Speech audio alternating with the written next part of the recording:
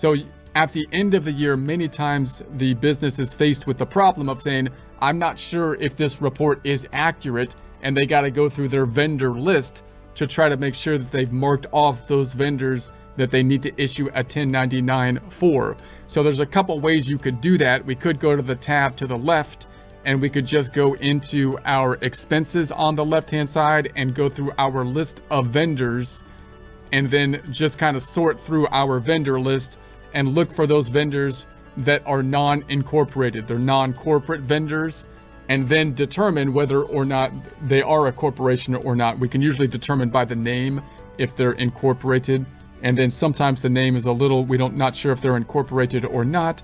And then we can choose the ones that we're iffy about and do further research, contact the vendor possibly to determine whether or not we need to issue a 1099 to them.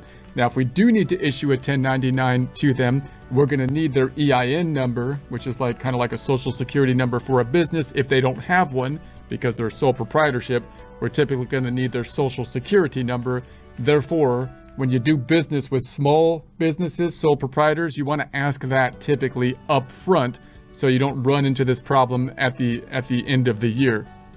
And if you go onto the IRS website, which is at irs.gov, irs.gov, you can look up, say, a W-9 form to help you with that uh, requesting process, request for taxpayer identification number. You need to have that because again, what you're really trying to do is give this information not to the contractor, although you're required to do that. The IRS wants it, the government wants it, and the government wants to know who they are in terms of address and identification number so they can double check that they're reporting the income on uh, their taxes. So this method works pretty good, but sometimes you might have a lot of vendors in here that you actually didn't pay because maybe you paid them in the past and you didn't do business with them in the current time frame. It would be best to go through these vendors and say, if I'm not doing business with them anymore, I'll make them inactive and you can really clean up your vendors list. However, you might say, look, I'd like to just run a report for people that I've paid in the current time frame and then that might limit this list a little bit so I can then uh, find the ones I need. So let's go to the tab to the right. I'm going to right click on this tab and duplicate this uh, tab again and look for a report that might give us that information. Reports down below. I'm going to close up the hamburger and I'm going to go down to the expense reports down here, which are the expense reports. Here they are. Let's make it a little bit smaller and now I messed now I messed the whole thing up. So the so the expense reports are here, and then I'm gonna look at the expenses by vendor summary. So expenses by vendor summary, and then I'm gonna change the date up top 010122 tab 123122 tab and run it. So now you've got your expenses broken out by uh, how much you paid to each of these. And this might be a little bit less of a list, just giving you the information for those that, that you actually paid. Now, note that this report will only work if whenever you paid someone, you applied the vendor properly so that I can have a subledger of the vendor.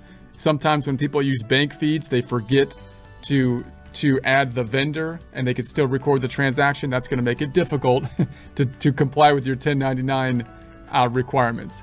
But most of the time, this report could be another one to look at. It also gives you the dollar amount for that time frame, so you can see if they're over the threshold, which I think is like $600. But even if they're under the threshold, if they're subject to a 1099, you still want to mark it off so that the report can be run uh, based on the, the threshold of the dollar amount could be run when you run like this report, for example.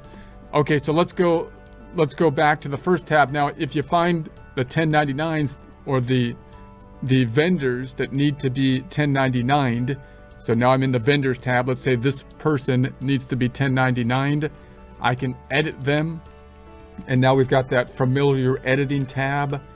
And then I'm going to scroll down to the tax information. We would need to give them a tax ID. So it would usually be like a 95 type of number that we would have. And we're going to track the 1099 information here. And that ticking of this off should then add this one to our list when we run the 1099 report. So we got to make sure that all the vendors that are applicable have been ticked off thusly. So I'm going to save that. And then if I go back to the to the report here and I run my 1099 report, run it again, now we've got the two people in here. There was no one paid to this one, so it's not really applying the dollar threshold, but there you have it. So that report can help you to kind of process the 1099. So once you have this report that's accurate,